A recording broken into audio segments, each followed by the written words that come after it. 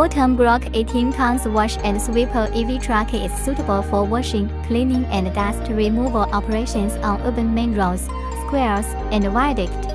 It is built on the customized chassis for Foton able new generation of pure electric sweeping vehicle, more than 7% less weighted compared with similar products.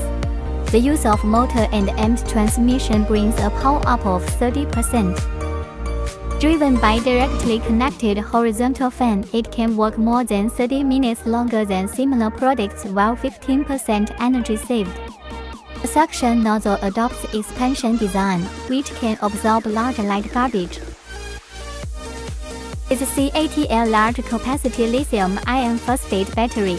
The truck can work for 8 to 10 hours after fully charged. It has passed 16 national compulsory inspections and safety tests reaching level IP67 of waterproof, dustproof, anti-interference, and anti-high pressure.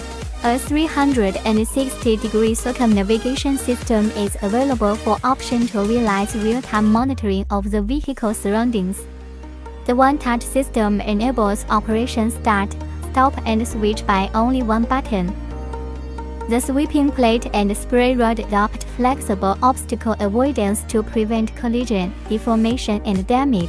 Foton Brock 18 tons wash and sweeper EV truck, tagged with zero emission, energy saving and environmental protection.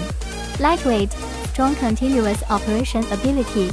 It's in technology and contributes to protecting the urban environment.